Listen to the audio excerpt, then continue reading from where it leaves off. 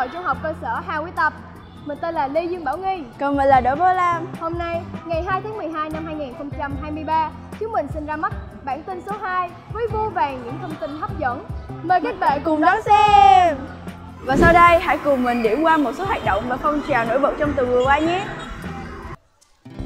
Hội thi Hội khỏe phù động cấp trường, quận và thành phố Chào mừng kỷ niệm 41 năm Ngày Nhà giáo Việt Nam 20 tháng 11 Liên hoan phim khoa học quốc tế năm 2023 Phát động sân chơi Thiếu niên Việt Nam Công dân toàn cầu Lịch xuân 2024 Tự hào sử Việt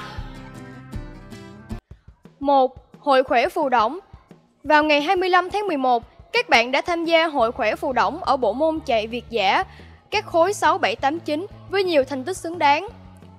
Chương trình xin chúc mừng tập thể trường trung học cơ sở Hà Huy Tập xuất sắc đạt huy chương đồng giải đồng đội nam và huy chương bạc giải đồng đội nữ.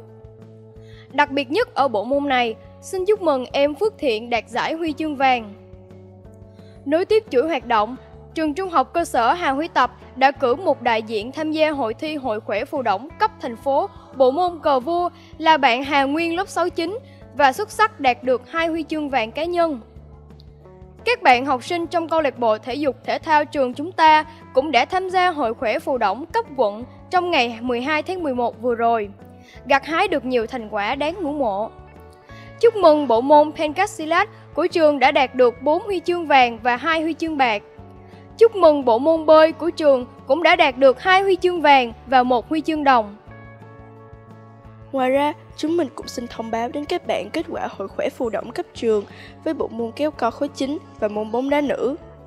Về bộ môn kéo co, khối chính xin chúc mừng các bạn lớp 914 đã đạt được giải nhất, lớp 913 đạt giải nhì, lớp 96 và lớp 911 đồng hạng 3. Về bộ môn bóng đá nữ, xin chúc mừng các bạn lớp 85 đã đạt được giải nhất. Xin chúc mừng các bạn lớp 98 đã đạt được giải nhì. Xin chúc mừng các bạn lớp 84 đã đạt được giải ba. 5. Chào mừng kỷ niệm 41 năm Ngày Nhà giáo Việt Nam 20 tháng 11 Nhân ngày hiến chương Nhà giáo Việt Nam 20 tháng 11, các lớp đã tích cực chuẩn bị, tập luyện trong một khoảng thời gian dài để tạo ra những tiết mục vô cùng chỉnh chu, hoàn hảo nhất để tham gia hội thi văn nghệ cấp trường. Sau đây, mình xin được công bố kết quả của hội thi. Đối với khối 6, mình xin chúc mừng lớp 62 đã đạt được giải nhất hội thi văn nghệ toàn trường Xin chúc mừng lớp 6 12 với giải nhì và giải ba đã thuộc về lớp 6 10. Đối với khối 7, mình xin chúc mừng lớp 76 đã đạt được giải nhất, lớp 77 đạt giải nhì và lớp 71 đã đạt giải ba. Đối với khối 8, xin hân hoan chúc mừng giải nhất đã thuộc về lớp 83, giải nhì thuộc về lớp 84 và lớp 81 đã giành được giải ba. Về khối 9, mình xin chúc mừng lớp 92 đã đạt được giải nhất, cả hai lớp 912 và 93 đều đạt được giải nhì và chúc mừng giải ba thuộc về lớp 94. Những tiết mục xuất sắc, hấp dẫn nhất trong hội thi lần này vinh dự được lựa chọn biểu diễn trong buổi lễ sáng ngày 20 tháng 11 của trường ta.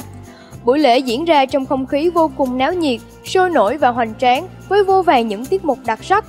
Cùng với đó còn có màn biểu diễn trống kèn vô cùng sôi động của đội trống kèn liên đội trung học cơ sở Hà Huy Tập.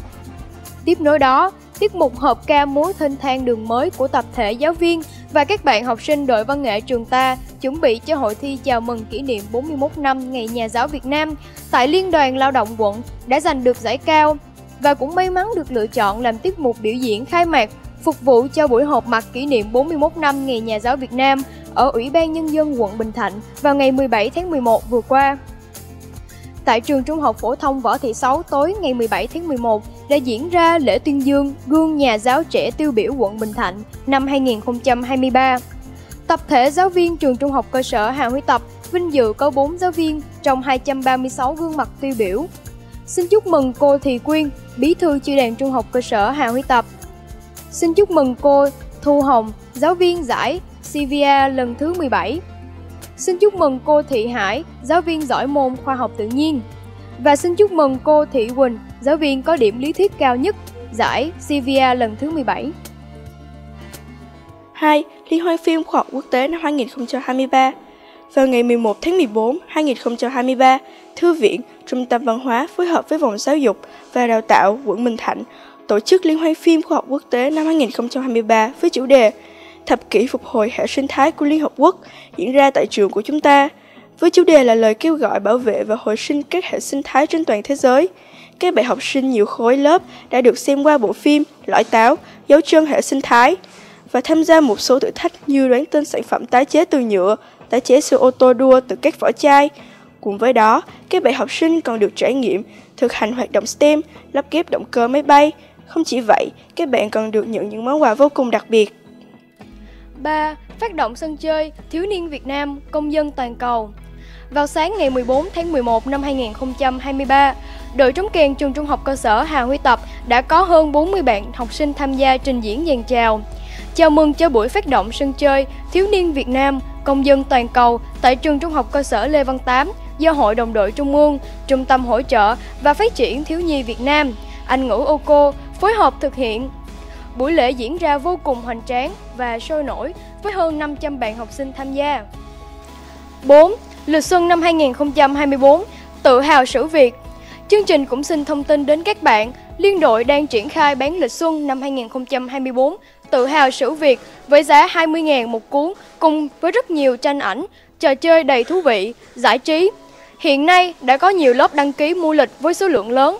Lớp nào có nhu cầu thì hãy nhanh chóng đăng ký thông qua group ban kiến sự hoặc liên hệ trực tiếp tại phòng truyền thống để đặt mua và nhận lịch sớm nhất có thể nhé. Sau đây xin mời quý thầy cô, quý phụ huynh và các bạn đến với góc lưu ý và nhắc nhở. Trải qua những tuần thi cử, kiểm tra căng thẳng, hẳn các bạn rất muốn được vui vẻ, chơi các môn thể thao yêu thích và giải trí vào những giờ nghỉ.